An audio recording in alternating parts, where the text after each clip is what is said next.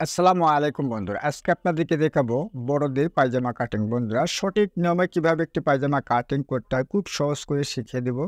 আজকের এই ভিডিওটি দেখার পর নতুন যারা আছেন, তাও এই পায়জামাটি খুব সহজেই কাটিং করে নিতে পারবেন। তাহলে চলুন, কীভাবে পায়জামাটি কাটিং করতে হয় শিখে নেই। বন্ধুরা, এই পায়জামার কাপড় রয়েছে আমার প্যান্টের পানা, সাড়ে তিন হাত বড়। প্রথমে কাপড়টাকে ওপেন করে নিতে হবে।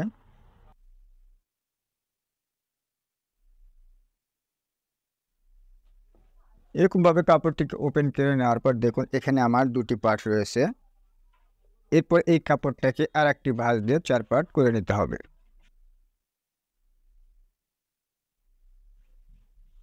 এরকমভাবে চার পার্ট করে নিলাম। দেখুন, আমার এই কাপড়টা কিন্তু সাড়ে তিন হাত পানা। এই কাপড়টি পায়জামার জন্য কাপড় লাগবে আপনার। দেড় গজ কাপড় হলে কিন্তু বড়দের পায়জামা হয়ে যাবে। এরকমভাবে ভাঁজটি করে নেওয়ার পর দেখুন, আমার ভাঁজ আমার পাশে রাখছি, অ্যাটাচ পার্টটা আমার সামনে রাখছি এবং আমি যে পাশে এলাস্টিক নিব, সে পাশটা কিন্তু খোলা রাখছি এবং এ পাশেও খোলা রাখছি। এখন আমাদের যা করতে হবে, এখানে উপরে থেকে একটা মার্ক করে নিতে হবে এলাস্টিকের জন্য। এর জন্য উপরে কাপড়টাকে সোজা করার জন্য একটা মার্ক করে নিতে হবে। এরপর এই দাগ থেকে আপনাকে দুই ইঞ্চি নিতে হবে এলাস্টিকের জন্য। এই দুই ইঞ্চির মধ্যে আপনারা চাইলে চিকুন এবং চওড়া দুটি এলাস্টিক আপনারা দিতে, দিয়ে নিতে পারবেন। এই দুই ইঞ্চিতে একটা মার্ক করে নিলাম। এলাস্টিকের মাপটি নেওয়ার পর এখন আমাদের নিতে হবে ঝুলের মাপ। ঝুলের মাপ নেওয়ার জন্য দেখুন, যেখান থেকে আমি এলাস্টিকের দাগ দিয়েছি, ঠিক সেখান থেকে আমাদের ফিতাটি এরকমভাবে রাখতে হবে। আমার ঝুলের মাপ রয়েছে সাঁত্রিশ ইঞ্চি সাঁত্রিশের একটা মার্ক করে নিয়েছি এবং নিচে প্যাটিস হবে, এর জন্য আমি আরও দেড় ইঞ্চি কাপড় নিয়ে নিচ্ছি। নেওয়ার পরে এই দুটি দাগ সমান করে নিতে হবে।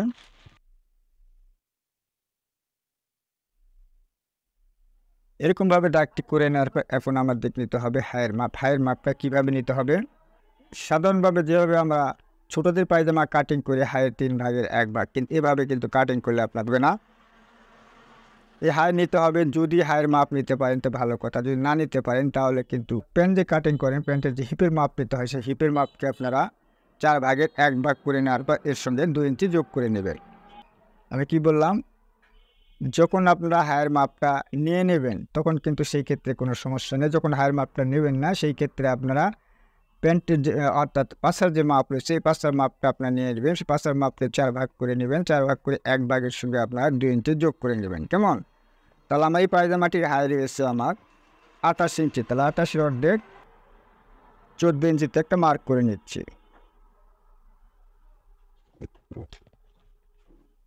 এখানে একটা দাগ করে নিতে হবে।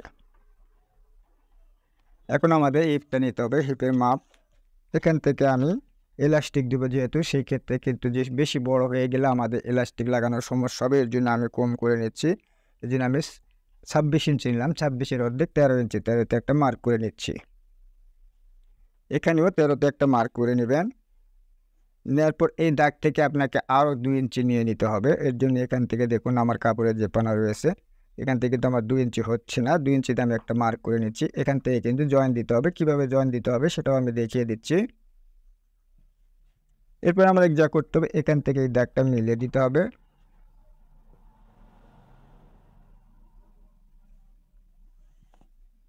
এরপরে হাই রাউন্ড শেপটা করে নিতে হবে। করে নেওয়ার পর এখন দেখুন, এখন এখানে কিন্তু আমাদের চেন দিতে হবে। চেন দেওয়ার জন্য এই যে দাগ দিয়েছে, এখান থেকে আমাদের ফিতাটি রাখতে হবে। এই দাগ থেকে চার ইঞ্চি উপরে একটা মার্ক করে নেবেন। এই দাগ থেকে আপনার যতটুকু প্রয়োজন চেনের জন্য আপনারা নিয়ে নিতে পারবেন। এখান থেকে আমি চেন দেব আট ইঞ্চিতে আটেতে একটা মার্ক করে নিচ্ছি। তাহলে আশা করি বুঝতে পারছেন, এই যে যেখান থেকে আপনার হায়ের মাপ হবে, সেখান থেকে ধরে চার ইঞ্চিতে একটা মার্ক করে নেবেন। নেওয়ার পরে আপনার চেন দেবেন। আপনার চেনে যতটুকু প্রয়োজন ঠিক ততটুকু পর্যন্ত দিয়ে নিলেই চলবে। কেমন? এখন দিতে হবে দেখুন পকেট পকেটটি আপনারা কীভাবে দেবেন? পকেট দেবেন এই যে এলাস্টিকের দাগ রয়েছে এলাস্টিকের দাগ থেকে আপনাকে এখান থেকে দুই ইঞ্চিতে একটা মার্ক করে নিতে হবে। দুই ইঞ্চি মার্ক করে নেওয়ার পর এখান থেকে আমাদের নিতে হবে পকেটের মাপ। পকেটের মাপ বড়দের জন্য সাড়ে ছয় ইঞ্চি দিয়ে নেবেন।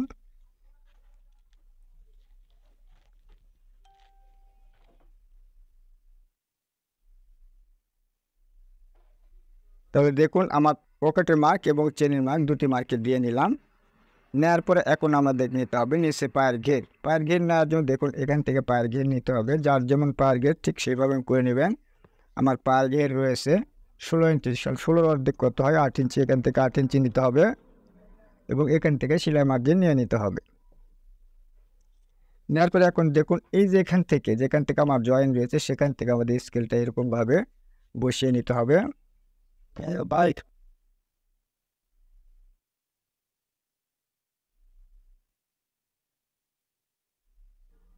এখানে একটু বাঁকা করে দেবেন, তাতে করে কি নিচে যখন আমরা মুড়িয়ে দেবো, তখন কিন্তু সুন্দরভাবে মোড়ানো যাবে। যেমন দেখুন, এ পর্যায়ে কিন্তু আমার পাজামাটি ড্রয়িং হয়ে গেল, এখন এটাকে কেটে নিতে হবে।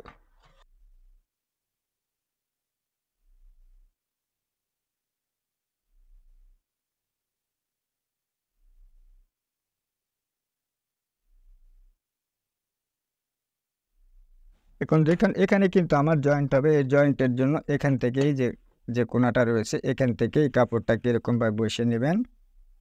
চার পাট করে বসিয়ে নেবেন, বসিয়ে নেওয়ার পর এখান থেকে সেলাই মার্জিন ভিতর পাশে রাখার পর এটাকে কেটে নিতে হবে, দেখুন।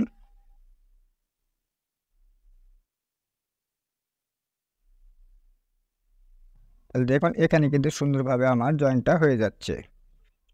এরপর এখানে একটা কাট দিয়ে নেবেন, সেলাই সুবিধার্থে। তাহলে আশা করি বুঝতে পারছেন কীভাবে একটি পায়জামা কাটিং করতে হয়। এরপরে এটাকে রেখে দিতে হবে, রেখে দেওয়ার পর এখন আমাদের দিতে হবে পকেট পকেট কাটার জন্য বাকি যে কাপড়টা রয়ে গেলে, এই কাপড়টা দেখুন, এরকমভাবে চার পাট রয়েছে চার পাট করে নিতে হবে। এখান থেকে একটা সেলাই দিয়ে নিয়ে এটাকে পকেট তৈরি করে নিতে হবে। এর জন্য দেখুন, এখান থেকে আমি এখানে সেলাই মার্জিন বাদ দিয়ে সাড়ে ছয় ইঞ্চি কাপড় নিয়ে নিচ্ছি।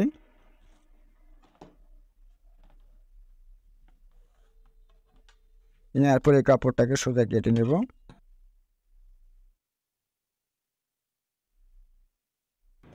এরকমভাবে কেটে নেওয়ার পর এখান থেকে আমাদের পকেটের সাইজটা করে নিতে হবে এরকম।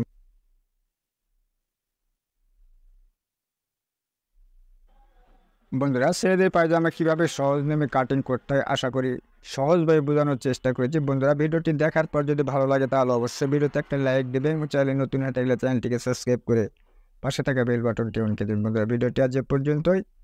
আল্লাহ হাফেজ।